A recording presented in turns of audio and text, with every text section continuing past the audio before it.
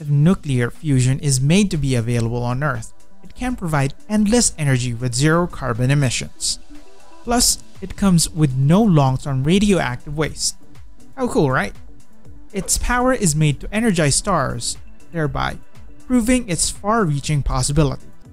Stick around as this video will talk about the many possibilities of nuclear fusion and its billion-dollar industry. Germany's Plasma Research Center leads the industry with its latest nuclear fusion reactor. Experts are taking a huge leap of faith as they are working towards the production of renewable, clean energy with fusion power and its ability to copy the sun's abilities.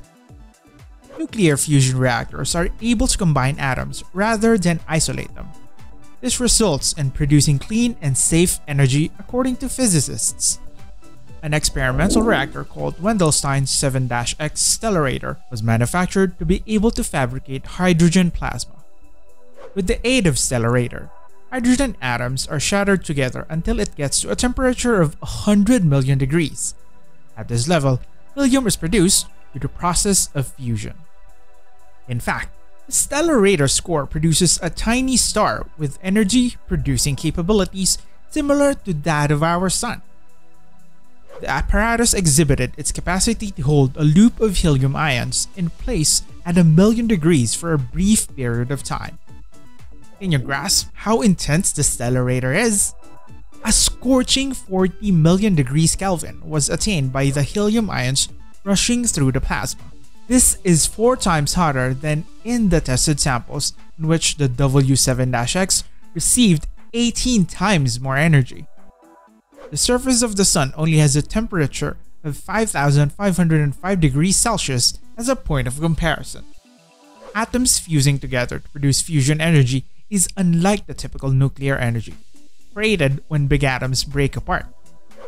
It doesn't generate the same radiation issues as atom splitting power, making it a good energy source for the future.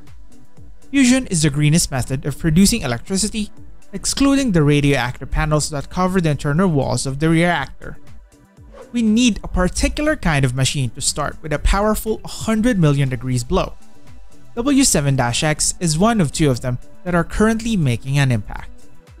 Devices like MIT's Alcator C-Mod tokamak use the electromagnetic fields produced by plasma to help maintain the charged particles in control. Fuel injection creates a hot cloud of particles that is extremely full of energy.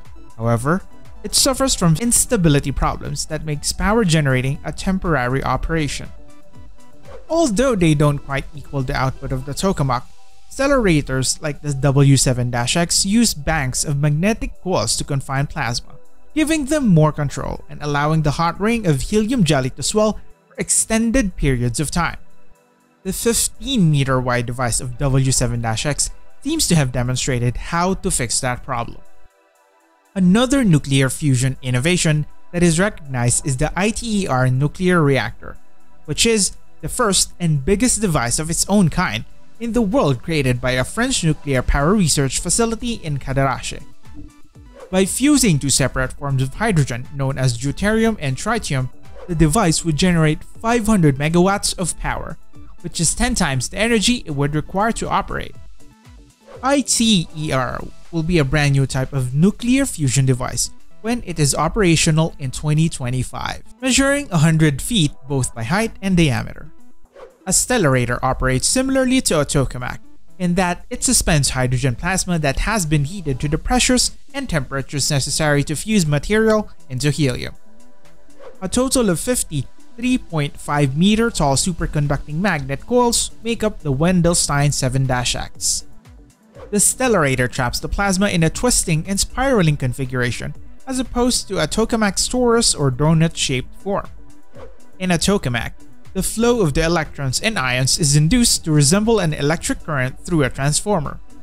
When paired with a magnetic field that already extends the entire length of the tube, this current creates a vertical looping magnetic field that creates the necessary spiraling field lines.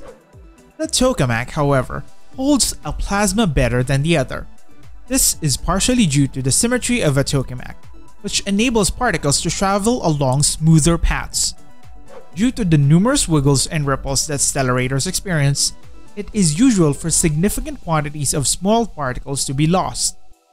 As a result, the vast majority of fusion investigations conducted since the 1970s have led to the enormous ITER reactor project. Warmer temperatures can now be reached thanks to the installation of graphite tiles inside the wall of the Wendelstein 7-X. The operators may pump more plasma in at higher temperatures and protect the twisting chamber walls with an interior liner, known as a divertor, providing more control. The Wendelstein 7-X Stellarator was improved to demonstrate the viability of power facilities powered by Stellarator-style fusion reactors. The magnetic field that keeps the hot plasma controlled and removed from the vessel's walls was designed with a great lot of computational and theoretical effort in order to address the shortcomings of prior stellarators. Limiting the plasma's energy losses as a result of the magnetic field's ripple was one of the main goals. Plasma particles drift away even after being attached to the magnetic field lines, losing energy as a result. In contrast, tokamak has little losses from magnetic field ripple due to its symmetrical structure, tiny plasma vortic motions, and turbulence, which is also included as a loss channel. Stellarators have an impact on these energy losses. Because of this, Stellarator improvement must minimize neoclassical losses in order to match tokamak's excellent containment characteristics. Wendelstein 7-X magnetic field was designed to lessen the losses as a result. Using the heating technology that is currently available, Wendelstein 7-X is now able to produce high temperatures plasmas and achieve a world record at acquiring high temperatures. It can be seen how close you can get to the parameters for a burning plasma by combining temperature, plasma, density, and energy containment time. Neoclassical losses contributed significantly to the energy balance, accounting for 30% of the heating power, while turbulence losses were minimal at these high plasma temperatures. It now has been proven through a thought experiment how Wendelstein 7-X neoclassical optimization works the same plasma quantities and profiles that led to the record performance in Wendelstein 7-X were expected to be achieved with implants that had less optimal magnetic fields. After computing the predicted neoclassical losses, the outcome was very apparent. Physically speaking, they couldn't be more than the heating power being applied. As a result, only magnetic fields with minimal neoclassical losses are capable of producing the plasma characteristics seen in Wendelstein 7-X. The inverse is also applicable. Neoclassical losses could be effectively decreased by changing the Wendelstein's magnetic fields. In contrast, tokamak has major downsides. For a commercial fusion reactor, the transformer's limited ability to pump a current across plasma in quick bursts is insufficient. Disruptions, which are sudden losses of plasma confinement that can unleash magnetic forces powerful enough to harm the reactor, can occasionally occur when the current in the plasma abruptly fails. Even more recent designs, like the spherical tokamak, suffer from the same problems. As there is no plasma currently circulating in stellarators, the fields produced by the external coils are not required to be pulsed. These two aspects are the reasons why some teams have remained with the idea. Because the reactor doesn't generate heat by nuclear fission in a regulated nuclear process, the energy produced is essentially pure. Despite the Wendelstein 7-X inability to generate energy by itself, it is still a stepping stone for us in the possibility of providing potentially unlimited energy produced by using a similar system that powers the sun, as it will someday be utilized to build an endlessly running Stellarator reactor. So stay tuned and keep updated with our videos to learn more about the latest update and the future of technology.